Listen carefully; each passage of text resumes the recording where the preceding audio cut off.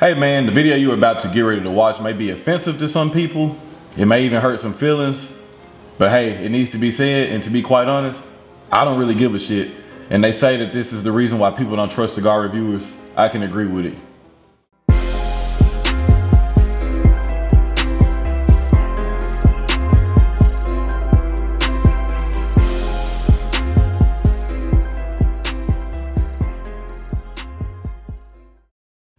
YouTube, what is going on, baby? It is your boy Ron Real, aka Double R, back in the building, back with another video, back with another damn banger. Today, man, we're not gonna be doing any reviewing. We're just gonna, I kind of was just thinking randomly about some random thoughts, and the title of this video will probably be called Stop with the Bullshit Reviews. And I know I've commented on this before. If you were wondering, I'm smoking the Lunatic Torch and Visionary Size, fantastic cigar. There will be an official review of this at some point before the year is over, but just trust me, this is a box worthy cigar.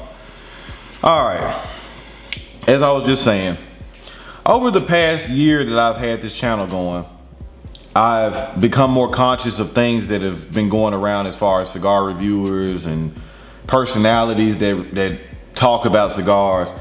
And I, it just it just makes me think about this one thing. Stop with the bullshit reviews. And I say bullshit reviews in a couple of different aspects.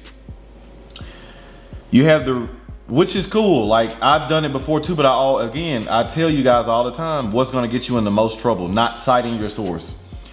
So there have been a couple of videos where I didn't know the specific information or whatever, and I go look it up. Oh, I got this from Half Wheel or Cigar Dojo, Cigar Coop, wh wherever the source is.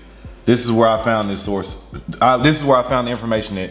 Two reasons for that. One, to cite your source. And two, that way, if you don't know and somebody comes back and says, well, you had the wrong information, if you cited your source, you'd be able to trace it back and say, no, I got this from there. So those that source is the wrong, they got their information wrong. Another reason. So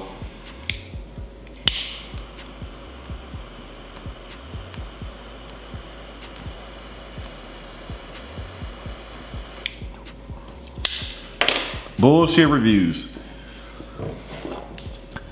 I see a lot of reviews where you can tell, and that's another thing. Man, stop trying to get over stop trying to get over on people. You know, most of the people that have been smoking for a really long time that have been they got some skin in the game, they know. They cause we do a lot of reading too. So we can tell if you're reading something in your review and it's not your words or not something that you're experiencing. We can tell your face will say a lot of stuff too. Also, we get on these bullshit ass flavor notes. Look, man, some of this stuff that I'm hearing people saying is outlandish. Just and and I've told you guys before this too on some live streams and stuff. The viewer, I, I, cause I've I've been on a couple of these videos, and a lot of people that watch me are some of some of the same people I see commenting on these other videos that have straight bullshit in it. Straight bullshit. You look, man. You get for me at least. Of this is all gonna be subjective still, but it's just at the same time, it's like, come on, man, just keep it real. For me, I get most of the time wood in the form of hickory, oak, sometimes or cedar. You get different. You can get different chocolates. You can get milk chocolate, which is equated with the creaminess. Usually, it'll be a sweeter taste to it. So that milk chocolate. You have baker's chocolate that's kind of dull. You can have cocoa powder. You can have. For me, I taste leather sometimes. I sometimes I can pick up a floral note. I can taste earth. I can taste hay. Um, some cream again. Like I said, you can taste cream, black pepper, white pepper, red chili pepper, saltiness, kind of spiciness to it. You know, there's some there's some citrus, which for me most of the time when I get citrus, is kind of a tangy citrus, which will kind of tie in with that cedar. But tea, vanilla sometimes, but sometimes, man, I'm gonna tell y'all one thing. I was watching a very popular person as he was reviewing. He's not, I don't even really consider him a cigar reviewer, but he was reviewing a cigar. And said he got barn dust on the taste of a cigar. Barn dust. I mean, maybe you grew up on a barn or something, I guess. I, I don't know. But the dust that I equate to around the house, I, in my mind, I'm thinking barn dust.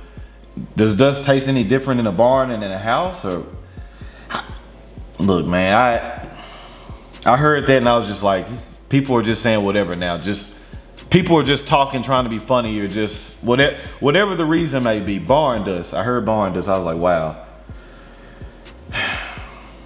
This tastes like grass from a field in Idaho. Or this tastes like dirt from the Grand Canyon. Or just like I, you know, who am I though, man? Who who am I? I'm just a regular, I'm just a kid that likes to, to smoke cigars and tell you guys my take on it. Somebody might be looking at my videos and thinking it's bullshit too. But you know what though? What you're gonna get with me, what you see is what you get. I'm always gonna shoot from the hip, no matter what. You're never gonna hear me say no outlandish shit that I taste nitrogen or uh, you know, cherry quiche strawberry cheesecake with a mousse drizzle on it. Like I'm not, you're not gonna hear that shit with me. This is at the end of the day, this is just rolled up, rolled up leaves, fermented tobacco. Now, yes, you can get different flavors, mostly being imparted from the soil and minerals of different parts of, of the world. They have their own characteristic. But some of this bullshit these people are saying is just like, and y'all, and, and we, me, the viewers, y'all are letting us, y'all letting them get away with that shit. Y'all are really sitting there listening to this shit and not and not checking these people. So you know what? If I'm them, I'm gonna keep saying outlandish shit too, cause ain't nobody saying nothing about it. Hey man, like I said at the end of the day, if you just want to, if you, as long as you're true to yourself, if you taste, if you really taste barn dust, or if you really taste unsweet Skittles or unsweetened brown sugar or uh, whatever the hell it is you're tasting, if that's what you're really tasting, then cool, man.